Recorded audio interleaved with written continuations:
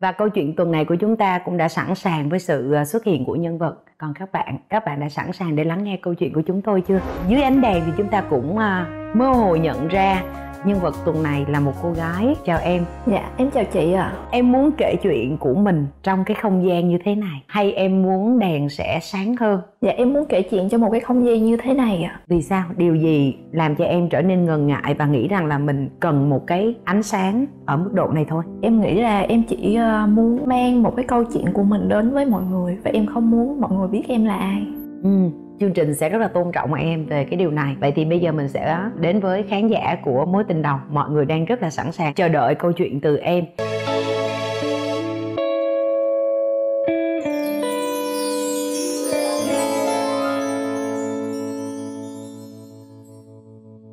Mối tình đầu của mình xuất hiện trong cuộc đời của mình ở khoảng thời gian mình bao nhiêu tuổi? Mối tình đầu của em là xuất hiện trong cái khoảng thời gian là em học lớp 10 Lớp 10 Dạ Chúng ta đã gặp rất nhiều tình đầu ở thời niên thiếu mọi người hả? Cũng rất là dễ hiểu bởi vì đây là một cái giai đoạn mà trong sự phát triển tâm lý thì chúng ta bắt đầu biết đến à, cảm xúc giới tính Chúng ta có những cái rung cảm với những người bạn khác giới Như vậy thì câu chuyện đó nó cách thời điểm hiện tại là bao nhiêu năm? Em uh, chấm dứt mối tình đầu của em là em uh, năm nhất đại học 2018 đến nay là đã 4 năm. Như vậy thì cái lúc mà mình bắt đầu tình đầu thì phải cộng thêm 3 năm nữa. Có nghĩa là 7 năm về trước. Ký ức của 7 năm về trước nó còn rõ không? Cuộc đời em có thể quên tất cả mọi thứ nhưng em sẽ không bao giờ quên hai thứ đó là gia đình và mối tình đầu của em. Thông thường với những cái ký ức đậm sâu như thế này nó sẽ rơi vào một trong vài những cái trường hợp đó là vì nó quá đẹp, nó quá ý nghĩa. Nhưng rất tiếc nếu như nó lại rơi vào nhóm nguyên nhân thứ hai là nó quá tổn thương. Vậy thì bây giờ mình quay về 7 năm về trước. Thế thì với cái người bạn này với cái mối tình đầu của mình thì cái sự kiện nào diễn ra giữa mình với họ để mình biết rằng với người này không thể là một cái cảm giác bình thường được? Em và bạn này là chơi với nhau từ lúc rất là nhỏ luôn. Thanh mai trúc mã. Cho đến một giai đoạn là lên cấp 3 thì ừ. em vào một cái trường trung học phổ thông. Thì trường đó sẽ có một cái buổi gọi là học sinh phải tự định hướng tương lai cho mình Ừ. thì lúc đó em có nói với bạn đó là em không có định hướng gì cuộc đời em. Tại vì ngày xưa em chỉ suy nghĩ rất là đơn giản là em đi học cho ba mẹ em vui thôi. Cái giai đoạn đó thì bạn đã nói với em một cái câu là nếu như mà bà mà không biết là bà có định hướng như thế nào thì bà nghỉ học phải đừng đi học, tốn tiền ba mẹ lắm. Và lúc đó em phản ứng rất là kịch liệt. Sao phải nghỉ học thì bạn nó mới nói là thôi bây giờ cứ học đi để xem là mình thích cái gì thì mình được chuyển trong năm 11 và 12 chứ người ta không bắt mình quyết định ở năm lớp 10 không, từ lớp 10 cho đến hết những năm cấp 3 em nghĩ đó là một cái người đồng hành đầu tiên trong cuộc đời của em và là một cái người mà khi mà em ở bên cạnh họ, em không cần phải suy nghĩ là mình cần phải làm gì và mình cần phải đi đứng nói năng như thế nào? Vậy thì tại sao em ấn định đó là tình đầu mà em không bị vướng mắc vào những cái hoài nghi khác rằng đây có thể là một cái tình bạn thân. Ngày sinh nhật của em vào năm lớp 10 thì bạn có nói là mình không có gọi là yêu nhau nam nữ này nọ nhưng mà muốn tìm hiểu em thử. Thì em lúc đó em cũng suy nghĩ vô tư ủa thì mình chơi với nhau thì mình tìm hiểu nhau thôi. Em cũng không có suy nghĩ đến việc là sau này ờ, em sẽ lập gia đình hay kết hôn với bạn này như ở cái thời điểm hiện tại. Ngày xưa trước khi mà em chưa gặp bạn em chỉ chơi với bạn em được mệnh danh là công chúa bởi vì ba em rất là thương em. Lên cấp 3 lại bắt đầu đi có cái chiếc xe 50 khi mà xe em hết xăng ba sẽ đổ. Cái ngày hôm đó em mới nói với bạn đó là hôm nay xe của mình hết xăng rồi thì đổ cho mình đi. Bạn đó bảo là cái việc cơ bản như vậy thì mình phải biết tự làm. Cái đó là kỹ năng sống chứ cái đó không phải là cái trách nhiệm của ai hết. Ừ. lúc đó em cũng kiểu dạng giỏi không em rất là giỏi luôn. Xong rồi em nói là ủa cái việc nhờ đi đổ xăng thôi mà chứ đâu có kêu là vô tiệm xăng ăn trộm ăn cướp gì đâu mà phải như vậy không làm được. Vậy bảo sao mình là người sống trách nhiệm. Ừ. xong rồi bạn mới nói là thì bây giờ đi đến cây xăng đi rồi chỉ cho cách mở cốp xe dặn cái nắp xăng đổ như thế nào. Em cũng có tình cảm với người ta nên em mới chịu thay đổi con người em nhờ cảm xúc của mình mình kiểm nghiệm trên cái cảm xúc của mình mình thấy cái sự tự nguyện của mình dành cho cái việc thay đổi đó. Nên là mình đặt tên cho cái mối quan hệ đó là tình đầu. Đúng rồi. Sau cái tuyên ngôn mà bạn ấy với em xác định với nhau là ê thôi bây giờ hai đứa mình tìm hiểu nhau thử đi. Thì cái sinh hoạt trước đó với sau cái lời tuyên ngôn đó thì em thấy cái gắn kết của hai đứa nó có cái gì thay đổi không? Nó có rất là nhiều thứ thay đổi của hai đứa luôn. Ví dụ như ngày xưa là bạn là một người rất là ghét đọc sách. Mỗi lần bạn cầm cuốn sách lên là bạn sẽ ngủ. Thì em với bạn sẽ đưa ra với nhau một cái quy định. Bạn là người thích nấu ăn thì ok, em sẽ về nhà, em sẽ tập làm từ từ những công việc nấu ăn. Thì trong giai đoạn đó bạn phải đọc cuốn sách đó để nói lại cho em ý nghĩa của cuốn sách đó. Bạn là một người rất là thích chơi game, nhưng mà em thì lại rất là ghét con trai chơi game. Ngày xưa chơi bạn bè với nhau thì em cũng không có nói nhiều, tại vì bạn chơi là chuyện của bạn còn mình không chơi được thì thôi. Nhưng mà sau này khi mà em nói với bạn là em không có muốn là bạn chơi game nữa thì bạn cũng thay đổi và dường như là bạn bỏ game luôn. Có cái điều gì ở bản thân em lúc đó mà để thay đổi nó đối với em đó là một điều rất khó. Và thực sự từ trước giờ mình nghĩ là mình không bao giờ muốn thay đổi. Nhưng mà vì quen cái người đó mà mình làm điều đó tự nguyện mặc dù rất khó khăn nha. Đó là vào bếp cha em nội em và mẹ em thì không muốn cho em bước chân vào bếp. Em cũng không có suy nghĩ là mình sẽ vào bếp mình làm. Thì bạn nó có nói với em là mình cứ học nấu ăn đi mà không có phục vụ cho ai hết đó mình phục vụ cho chính mình thôi. Ví dụ mình đói bụng thì mình sẽ tự chủ động đi nấu đồ ăn cho mình mình không cần phải phụ thuộc vào người khác và không phụ thuộc vào khẩu vị của người khác. Nghe có vẻ như các bạn đã trưởng thành rất là nhiều nhờ cái mối quan hệ này nhờ cái cuộc tình này tuy nhiên, một cái mối quan hệ mà nó đến vào năm lớp 10 được phát triển từ một cái quan hệ tình bạn nó quá lâu. Thông thường thì các bạn trẻ mà trong trường hợp này cũng hay bị hoài nghi lắm. Hai đứa có một cái sự thuận lợi rất lớn là mình rất dễ ngụy trang nếu trong trường hợp phụ huynh ngăn cản tại vì là bạn thân mà nhưng mà thực tế thì xung quanh mình cái sự ủng hộ dành cho mối quan hệ tình yêu của mình với bạn ấy nó có không? Mẹ em và mẹ bạn ấy hai gia đình đều lầm tưởng là hai đứa tại chơi thân với nhau thôi. Và bạn bè xung quanh thì biết nhưng mà gia đình thì chỉ biết là chơi thân với nhau nhưng mà thầy cô thì vẫn biết là hai đứa quen nhau. Phản ứng của thầy cô như thế nào? Thật ra là ngày xưa khi lớp 10 thì em ờ, em học một thầy dạy ngữ văn thầy biết về hai đứa và thầy cảm thấy là nó không có xấu đến nọ tại vì hai đứa sẽ cùng tốt lên với nhau. Như vậy là coi như những cái giông gió bên ngoài á, là mình gặp cũng không có nhiều. Vậy thì bây giờ vấn đề nó thuộc về nội tình.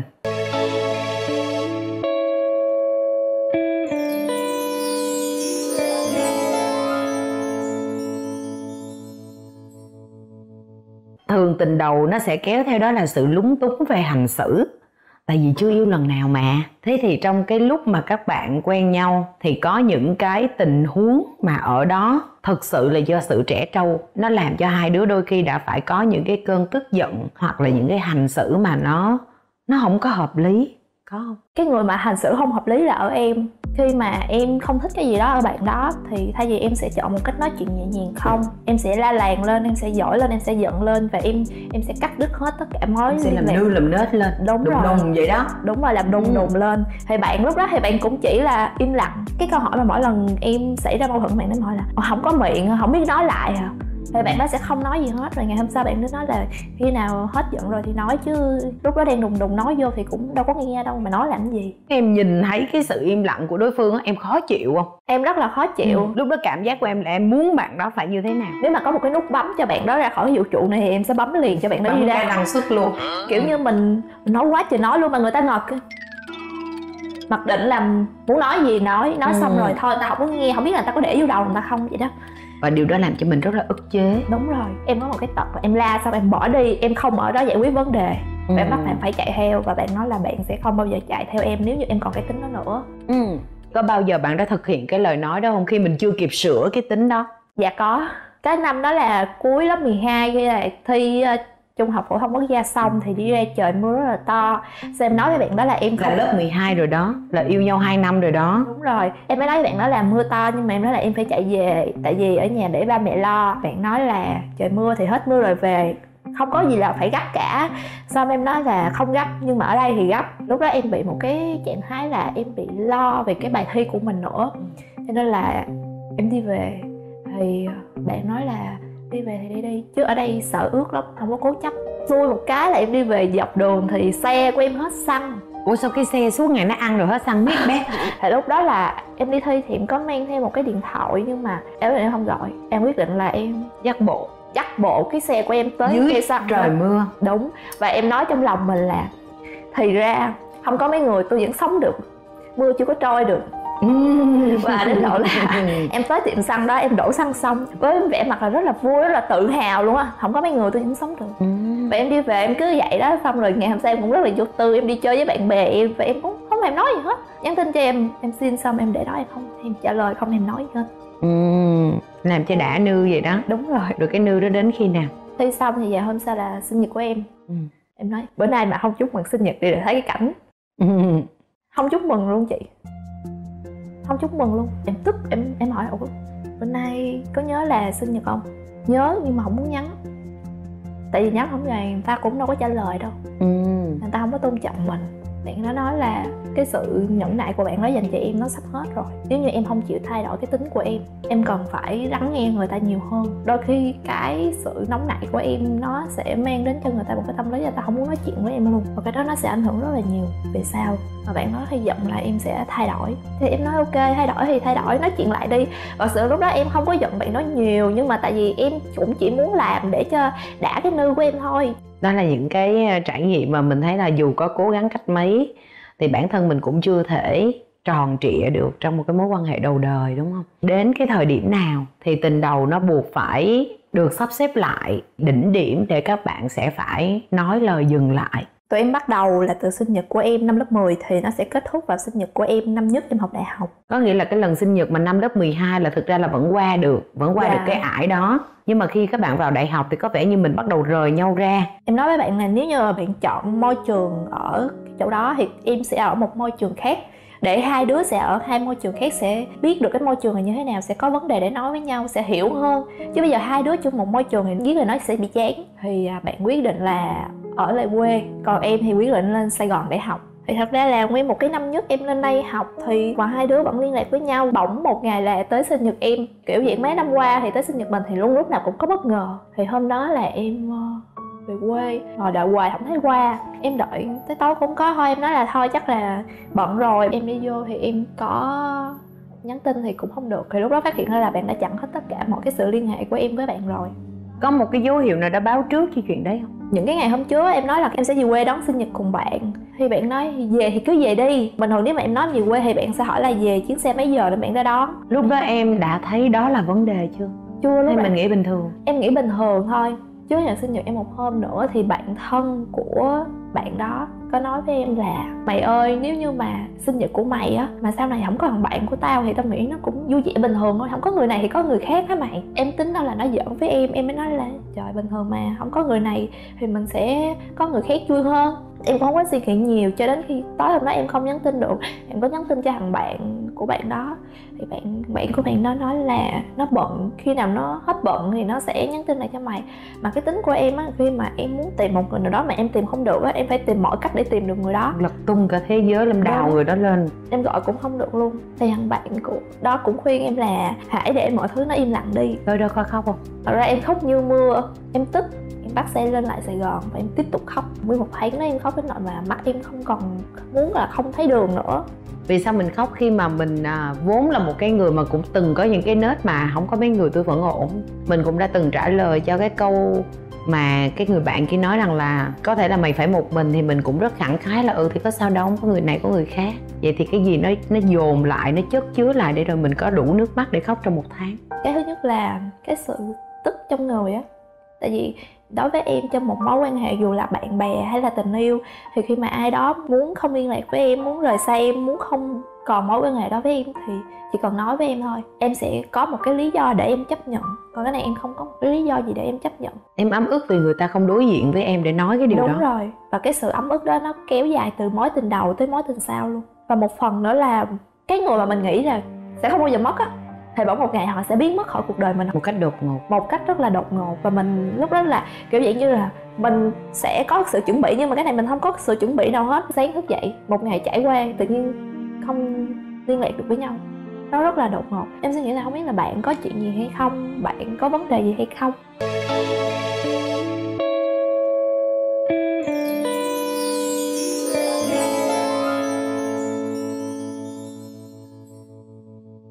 trong một tháng đó mình có đưa ra hàng loạt những cái lý do là nếu như bây giờ buộc phải chia tay thì cái lý do chia tay là gì không? Bởi vì bên kia người ta không có nói. Từ nhỏ đến lớn ba em có nói một điều là sau này khi mà em quen một người nào đó, cái đầu tiên là cái người đó phải có bản lĩnh bạn lên ở đây, không phải là làm việc to, việc lớn gì hết, phải đối diện với những cái vấn đề của hai người. Thì trong lúc em khóc đó em suy nghĩ là thôi bỏ đi. Tại vì vốn dĩ là người ta đã không có bạn lĩnh, không có đủ sức mạnh để đối diện thì bỏ đi. Còn trẻ con quá mà. Em cứ dịnh vào cái lý do đó, nhưng mà em vẫn tức nha. Mình có lý do nhưng mà mình vẫn tức. Kiểu như mình ấm ức lắm. Khóc xong một tháng thì cảm giác chưa đủ. Đến thời điểm hiện tại bây giờ cũng vậy á. Dù trải qua nhiều cái mối tình thì khi mà nhắc về mối tình đầu của em dù cho sau này cũng vậy thì em vẫn khóc vì một cái lời giải nó không có vì hàng loạt câu hỏi nó không được hồi đáp. Không vì một lý do khác. Là vì gì? Sau một tháng đó thì bạn có quay lại và nhắn tin hẹn em quay lại chủ động. Đúng rồi nhắn tin hẹn em đi cà phê. Em vẫn vui vẻ để đi ra gặp bạn đó thôi. Thì cái lý do bạn đó nói là bạn đó không chấp nhận được sự thật này. Bạn đó không muốn em biết sự thật này và bạn đó muốn là em cứ uh, hoài nghi bạn đó đi. Thì em sẽ dễ chịu hơn thì em nói biết, quen biết nhau mấy năm thì cũng phải biết là cái tính là biết được thì mới buông bỏ. Thì bạn đó mới nói là tại vì hai đứa là họ hàng với nhau. Mẹ của bạn biết, thì cái hôm đó là tin nhắn của bạn thì mẹ của bạn cầm điện thoại vô tình thấy và hỏi bạn, rồi nói với bạn, thì bạn có định sẽ nói với em nhưng mà bạn thấy cái điều đó nó tàn nhẫn với em quá, nhưng mà bây giờ không nói thì em vẫn không chấp nhận. Bất ngờ nước mắt của em tự động khóc. Dạ rồi. Dạ rồi ạ. Trời ơi, mình chạy bốn máy Tôi nhớ ghê, đứt ruột ghê. Rồi, chạy rồi, bốn máy chạy rồi. Lại chị Minh nó bộ đàm nha. Nghe tiếng chị Minh phát cái thùng control lớn lắm đó. Ok, ok, ok, xong Máy chạy. Anh chạy.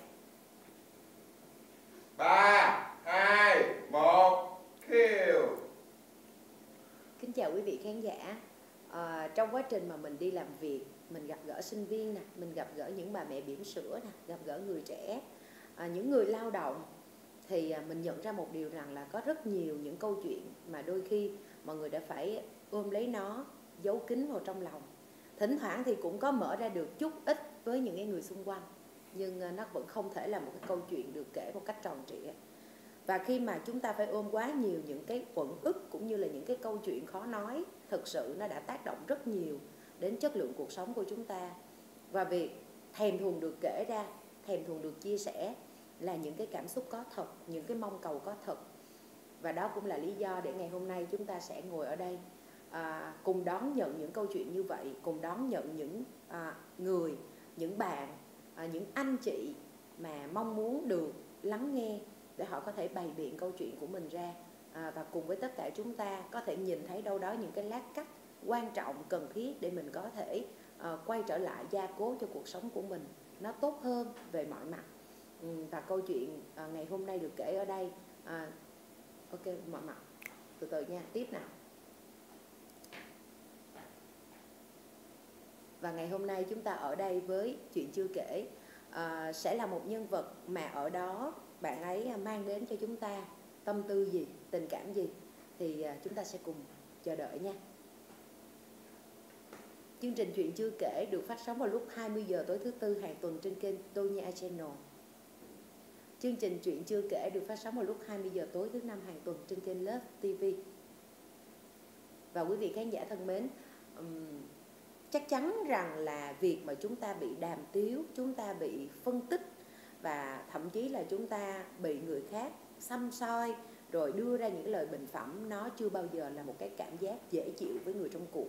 À, tuy nhiên việc này nó khó mà dừng lại bởi vì cái mong muốn được uh, cất lên tiếng nói của mình uh, cái mong muốn được uh, thể hiện bản thân của mình và đặc biệt một điều đó là việc mà người ta cũng không muốn uh, đứng ngoài đám đông khi mà đám đông đang có cùng một cái sự quan tâm gì đó uh, chính điều này đã dẫn đến cái câu chuyện là vô tình hoặc cố ý đã có rất nhiều lần trong cuộc sống chúng ta có thể đã buông ra một lời nói, mà với người nói thì nó thực sự là vô tình. Và gần như nói xong thì lời nói gió bay, nhưng mà với người nghe thì người ta sẽ để lại trong lòng của mình một cách hữu ý. Và việc để lại đó nó tạo ra những cái vết thương càng ngày càng lớn hơn, thậm chí có thể dẫn đến sự hoại tử về mặt tâm hồn.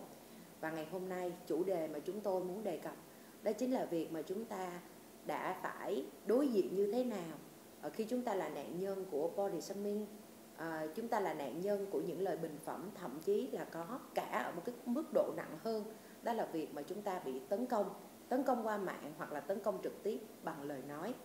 Và nhân vật của chúng tôi ngày hôm nay là một trong số có thể dùng từ là nạn nhân của câu chuyện này. Và mời quý vị sẽ cùng gặp gỡ một bạn nữ mà vẫn hay được mọi người biết đến với một cái uh, nickname đi mình dùng từ nickname đi ha một cái biệt danh là người mẫu không xương mũi hay là không xương? mũi ít mũi không xương. À. mũi 10 ít mũi không xương. À. người mẫu? Mũi ít mũi không xương. À, 10 ít mũi không xương. Ok em rồi. Và nhân vật ngày hôm nay cùng tham gia trò chuyện với chúng ta cùng chia sẻ chuyện mà có thể đã từng kể chút ít ở đâu đó. Và ngày hôm nay bạn ấy sẽ kể nhiều hơn ở chuyện chưa kể. Đó là người mẫu 10x mũi không xương bạn Mỹ Duyên. Chào em. Em chào chị ạ. À, ánh sáng này có làm cho em dễ chịu không? Ừm, em nghĩ là mình nên sáng thêm một tí xíu nữa. À, vậy thì mình có thể à, gửi cái yêu cầu của mình đến các anh kỹ thuật. Ờ, không biết là các anh bộ phận kỹ thuật có thể làm ánh sáng sáng hơn giúp em được không ạ? Dạ, em xin cảm ơn em chào chị Tô Nha. Xin chào khán giả đang xem chuyện chưa kể.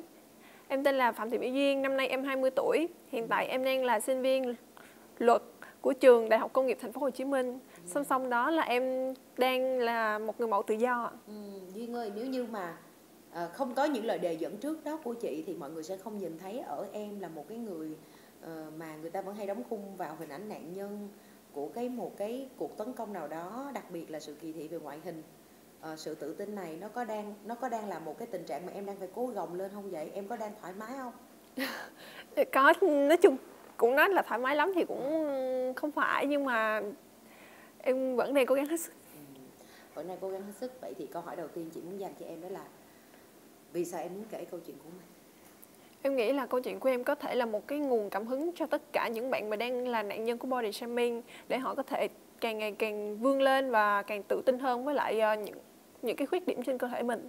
điều đó có nghĩa là nếu như mà theo cái lý do này thì mọi người đang hình dung rằng là em là một người thực sự rất là tích cực và vô cùng mạnh mẽ. Khi mà đối diện với chuyện này có đúng vậy không? Giờ, giờ cũng có thể gọi là như vậy. Bởi vì Ừ. bản thân em hồi trước cũng là một người khá là tự ti nhưng mà em không muốn là những người mà bị giống em ấy lại có thể bị tự ti giống như mình. Bởi vì các bạn ngoài kia thì không thể nào tự đứng lên bảo vệ bản thân mình theo em nghĩ là nếu mà mình không tự bảo vệ mình thì ai sẽ bảo vệ mình? Dạ. Dạ. Vậy thì câu chuyện nó bắt đầu từ đâu? À, từ năm bao nhiêu tuổi từ lúc nào trong cuộc đời mà mình nhận ra rằng là việc mình là cái chủ đề bàn tán của người khác nó bắt đầu tạo ra cho mình những cái cảm giác buồn tuổi hoặc là những cái sự đau lòng đi kèm? Ừm, nếu nó như vậy thì phải quay về từ khi mà em đang còn là bào thai trong bụng mẹ. Thì từ lúc còn là dạ. Ừ. lúc đó là em trong bụng mẹ thì ờ, em có một thêm một đứa em gái sinh đôi. Ừ. hai đứa sinh đôi trong bụng mẹ thì em chỉ nghe ba mẹ kể lại là do trong bụng mẹ chật quá hay sao nên là em đã bị em gái em đè và khiến cho bụng em không có xương. Nó hoàn toàn là một cái mô một cái mô thịt thôi chứ nó không có một cái gì trong mũi hết. Ừ, đây là lời kể của mẹ hay nó là một cái sự khẳng định từ phía y khoa luôn? Ừm, đây là chắc em nghĩ là phía, y khoa đã nói với mẹ và mẹ đã nói lại với em Ừ. rồi sau đó là em đã phẫu thuật lại vào năm em học lớp 3 Ừ. cho tới hiện tại thì em vẫn chưa có ý định phẫu thuật lại thêm một lần nữa từ nhỏ cho đến cái năm mình học lớp 3 là 9 tuổi Dạ. ừ. cảm xúc của em như thế nào với gương mặt của mình lúc đó thì ờ, mình thấy mọi người xung quanh mình ai cũng có một cái mũi bình thường mà mình như vậy mình cảm thấy bị bị tủi thân á chị khóc bị nhiều. buồn khóc nhiều cũng khóc nhiều nhưng mà khoảng thời gian đó vô tư lắm vô tư nên là mọi người xung quanh không có ai để ý tới. Nhưng mà những người bạn tiểu học của mình em có thể nhớ về những cái tình bạn vào cái thời kỳ trước đó là các bạn chơi với mình có thân thiện hoặc là có khi nào vì cái đặc điểm của mình như vậy mà em không có dám chơi với các bạn không? Dạ có chứ. Tại vì bản thân em là một người hướng nội. Hướng nội nên là không có dễ tiếp xúc với mọi người xung quanh. Nên là đa số là em sẽ ngồi một góc Em không có chơi với ai cả. Lúc đó mình có đi học chung với cô em song sinh của mình. Dạ có. Thì chỉ có hai chị em chơi với nhau. Nhưng mà tới khi mà học lớp 5 thì hai đứa tách ra Thì dần dần em mới hoàn mới chơi với những người bạn khác Thì họ cũng chơi với em rất là vui vẻ Chứ không có ờ, nghĩ gì về ờ, gương mặt của em cả. Mình còn nhớ cái cảm xúc của mình vào năm lớp 3 khi mà mình làm cái cuộc phẫu thuật đầu tiên để tái tạo ờ, gọi là tạo hình lại cái mũi của mình không? Lúc đó là cái ý của em hay là cái ý của ba mẹ Lúc đó là ý của ba mẹ ừ. thì lúc đó là mình không được nhìn vô gương em không dám nhìn vô gương tại vì em sợ là phẫu thuật xong thì nhìn mình lạ đi hay là kiểu bị đánh đánh vô tâm lý chị Ừ. bị bị lạ ấy cái mình sợ nhưng Ừ. mà lúc mà đi cắt chỉ trên cái mũi này thì mới mới dám nhìn vô gương thì mới một câu nói con nào mà lạ quắc vậy trời em tự nói vậy dần dần thì em Ừ. cũng làm quen được với gương mặt này. Nghĩa là từ nhỏ tới lớn thì không có chuyện gì xảy ra hết cho tới khi mà học cấp 3 Ừ. học cấp 3 thì mới bắt đầu là nhiều nơi chuyển về trường cấp 3 đó. Em đã bị gọi là miệt thị. Lẫn học sinh phụ huynh và kể cả giáo viên cũng miệt thị em. Cái lần miệt thị mà mình cảm thấy là nó vẫn để lại cái tổn thương sâu đậm nhất với mình cho đến thời điểm này là cái sự việc nó như thế đó chính là năm lớp 10 cái khoảng thời gian mà em bị đó khiến cho em phải rơi vào trạng thái trầm cảm trong vòng nửa năm. Và em phải gọi là nghỉ quẩn á chị là gì bằng cách là dùng thuốc ngủ. Ừ. thì một cái nhóm bạn đó chơi bốn bạn đó chơi chung với nhau và họ đã chụp hình lén em lại. Dù em cũng đã em cũng chơi chung với đám đó. Em thân Ừ. nói chung là bạn bạn thân bạn thề bè chơi với nhau thôi chứ không thân lắm. Cái bốn cái nhóm đó tạo với nhau một cái group bốn người đó tạo với nhau một cái group và họ đã chụp hình lén em và gửi cho trong group. Ừ. gửi cho trong group rồi gửi cho những người bạn khác của họ bên ngoài. Với cái lời lẽ đi kèm là gì? Con này đi học mà đeo mặt nạ đứa nào qua lột mặt nạ con này giùm giới. Hay là con viên mũi khỉ hay con viên mũi xẹp mà tỏ vẻ thanh cao. Rất là nhiều lời lẽ mà kiểu như lúc đó mình bị bị bị tổn thương chị. Vậy thì cái sự có thể nói là với những cái lời đi kèm như vậy thì theo em cái sự hằng học mà các bạn dành cho em nó chỉ đơn thuần là việc kỳ thị một người có ngoại hình không không có gọi là không có được bình thường. Hay thực ra về mặt tình cảm về mặt cảm xúc là các bạn không thích một cái thứ khác ở mình. Ví dụ như là ờ, ganh tị với mình về một điều gì đó hoặc là ờ, và lúc này ngoại hình của mình nó trở thành cái cớ. Thực ra có nhiều người bị tấn công trên một cái nội dung cụ thể nhưng thực sự cái nội dung cụ thể đó nó không có liên quan gì tới cái lý do hết trơn á cái lý do thực sự nó đến từ một cái dướng mắt khác em nghĩ là đó chính là về ngoại hình quá tại vì em chơi với mọi người rất là hòa thuận yên bình em không có muốn gây gỗ với ai hết ừ. thì vô tình là em phát hiện ra mấy bạn đó đã làm như đã chụp lén em làm như vậy với em thì em cảm thấy em bị rơi vào tuyệt vọng ấy Chị lấy ví dụ ha, Dạ. đôi khi có những cái lần mà mình bị tấn công nhưng có thể là do chẳng hạn như một giáo viên nào đó họ họ đánh giá cao mình à, mình mình có năng lực họ đánh giá cao mình. À, cái tự nhiên cái nảy sinh ra một cái sự sân hận trong lòng của những bạn học sinh khác. Và lúc này các bạn nó không thể tấn công em trên cái việc em học giỏi được. Nhưng mà ngoại hình đó là một cái cớ quá rõ để họ vin vào đó. Họ lấy nó để trở thành cái cớ và họ tấn công. Hoặc ví dụ như là học trò thì thấy có chuyện tình yêu học trò. Ờ, mấy bạn nam đôi khi là cũng hơi thân thiện với mình hoặc là mấy bạn giúp đỡ mình. Thì những bạn đó cũng cảm thấy chướng mắt. Và lúc này ngoại hình của mình lại trở thành cái cớ rất là tuyệt vời để họ làm điều đó thì em có nghĩ là nó cũng có thể là lý do đó không? dạ không bởi vì lúc đó là chỉ mới đầu năm học thôi chị Ừ. mới đầu năm học là em đã bị như vậy rồi Ừ. Thế thì làm sao mà mình biết rằng là cái hình của mình nó đang lan truyền như vậy? vô tình thôi vô tình là một trong cái đám bạn đó mượn điện thoại em và đăng nhập messenger Ừ. và vô tình là em đã thấy được những cái dòng tin nhắn đó khiến cho em phải gọi là chạy qua bên lớp của em gái em và đưa cho em gái em đọc Ừ. nên là hai chị em mới làm ầm cái vụ này lên và lúc mà cả đám cùng bị đi xuống phòng giám thị ấy, thì giáo viên chủ nhiệm đã vô kêu hạ anh kiểm hết tất cả, kể cả em.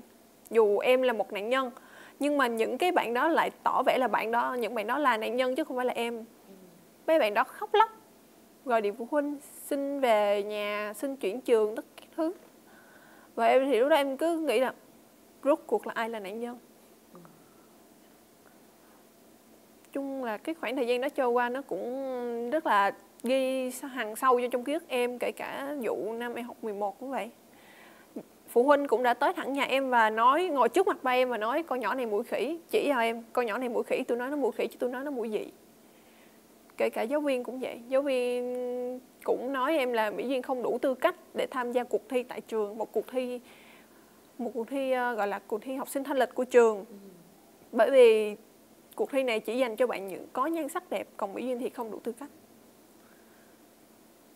thì nó kiểu những đó là những ký ức mà nó nó hằn sâu trong người em á em không tất cả những cái từ đó là mình đều được nghe một cách trực tiếp hay là được nghe nói lại? có vụ giáo viên thì là em được nghe một người bạn thân nhất của em ở trong trong cái buổi chấm hồ sơ đó một người bạn thân nhất của em nói lại với em và giáo viên đó còn đổ thừa em ăn cắp tiền các thứ nữa Ừ. em cũng em cũng không biết tại sao giáo viên đó lại ghét em. Bởi vì tất cả các hoạt động thì em đều tham gia. Em đều tham gia một cách rất là tích cực. Và em cũng không có làm cho giáo viên nó phải buồn lòng về em cả. Nhưng mà không biết tại sao giáo viên đó lại lại lại ghét em nữa.